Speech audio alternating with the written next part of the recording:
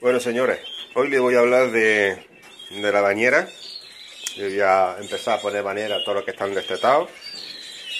Y las primeras bañeras que suelo poner, pues le pongo lo que es betadine, o puede comprar por litro, yodal, yodo, ¿vale? Yo lo suelo comprar en, en gran almacenes y lo compro por, litro. Esta es la, es la marca Sotal quien lo hace, ¿vale? Y después le añado agua con, eh, con ¿vale? Eh, se lo pongo a la bañera, la medida más o menos es media altura de bañera, ¿vale? Se queda el, el agua eh, más o menos, vamos a decir, de color dorado, ¿vale? y le suelo dejar la bañera un par de horas, mm, un día sí, un día no. En estos momentos, un día sí, un día no, ¿vale? Cuando ya llegue la muda, pues ya le pongo la bañera todos los días, ¿vale? Pero ahora mismo, un día sí, un día no, pues le, suelo poner la bañera.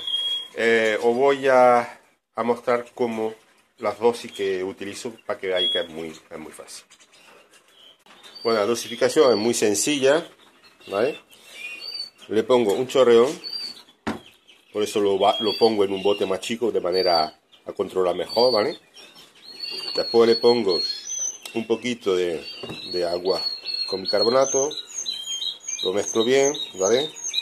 Se queda oscuro, ¿vale? Pero como por arte de magia, cuando vuelvo a echar agua, pues se va aclarando, ¿vale? Y se queda el agua blanca. De no hacerlo así, pues eh, se, quedaría marrón, ¿vale? Y los pájaros podrían extrañar un poco el agua, pero haciéndolo así, pues se queda blanca el agua y los pájaros no extrañan nada la bañera, ¿vale? Eso se lo suelo poner ahora, un día sí, un día no, cada dos días. No tengo tampoco una pauta bien precisa, ¿no? Cuando empiezan a mudar, sí se lo pongo todos los días, ¿vale? Pero ahora mismo, eh, un día sí, un día no, se vayan acostumbrando a la bañera, se vayan bañando, se vayan remojando un poco y limpiando un poco esas plumas. Eh, las primeras mudas también eh, vuelven a cambiar. El yodo sirve para desinfectar, sencillamente, ¿vale? Entran dentro y cualquier cosa que tuviese en las patas. Ayuda también en el tema de los ácaros del plumón, eh, igual que el bicarbonato, por eso he echado agua con bicarbonato, ¿vale? Eh, muy útil para controlar ese, tipo de, problemas.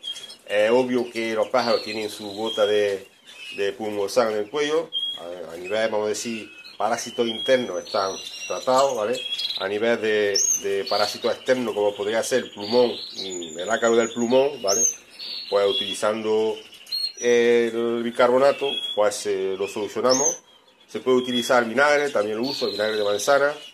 Es una solución que hago, lo, lo, puse por ahí por el canal, hay un, vídeo sobre esa solución. Eh, preparo una solución a base de ajo y vinagre, ¿vale? Lo dejo, eh, lo dejo que se, que se impregne, vamos a vinagre de, ese, de ese aceite de ajo y después lo pongo en bañera existe muchas cosas para controlar, vamos a decir, lo que es el ácaro del plumón, ¿no?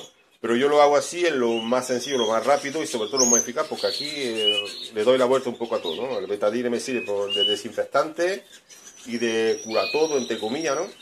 Y eh, pueden beber agua si quieren, visto que tiene el betadine, el yodo, para estar desinfectada, ¿vale? Y el bicarbonato y tendrá las mismas, ¿vale? Eh, sumando que el bicarbonato pues me va, me va a controlar ese tema de, de ácaro del pulmón si hubiese, ¿vale? Atención, hablo del ácaro del pulmón, ¿eh? no estoy hablando de piojillo aquí, ¿eh? para piojillo otra cosa, ¿vale? Pero para el tema de ácaro esto viene fenomenal, ¿vale? No hay que añadir más. Espero sirva.